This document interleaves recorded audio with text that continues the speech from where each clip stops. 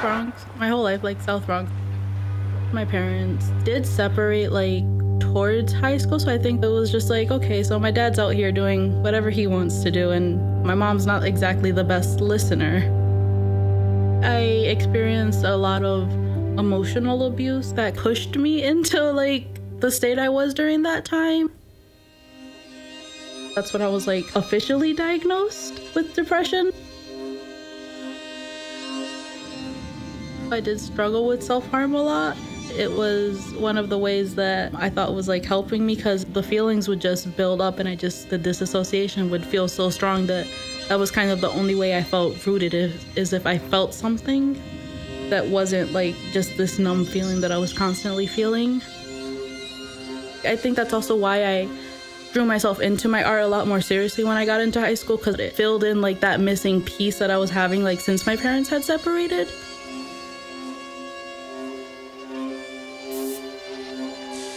The scars afterwards made it really hard to like accept myself and like myself and I think that kept me in that hole.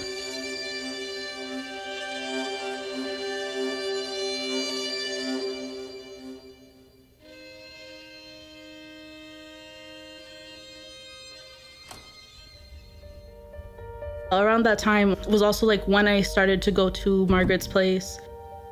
I didn't even really know what Margaret's place was. I just thought it was like another counseling thing.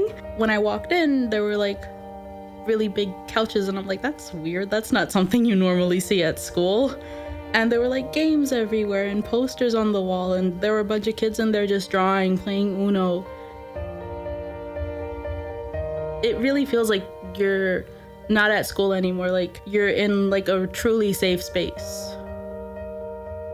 It was around that time where I started taking like my drawing a lot more seriously and I got more into like character designing and creating like my own little worlds where like things were like a lot better. I do eventually want to write like my own longer, definitely longer graphic novel, like a little story of like where my life had been to where I am now to show people that you're not alone. Other people are going through this as well it's okay to talk about it.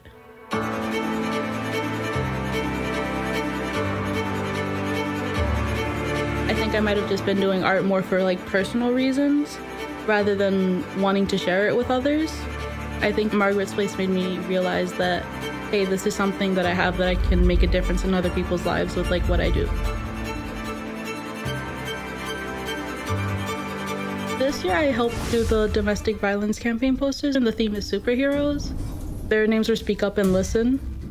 And like they'll go around like teaching people about domestic violence. I thought it was really cool to get to like create characters this year that represent what the whole campaign's about. Like so many people are dealing with some type of domestic violence, but we just don't always know because not everyone's educated about it.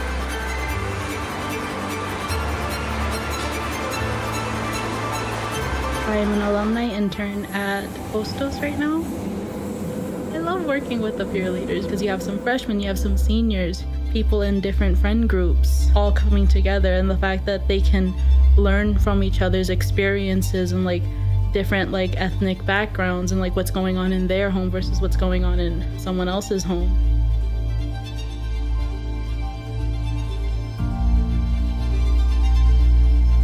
so many people might be dealing with mental health, but not everybody has a word for it. And what Safe at Home offers is a chance to learn about what you might be going through and what others might be going through and how to help yourself and others.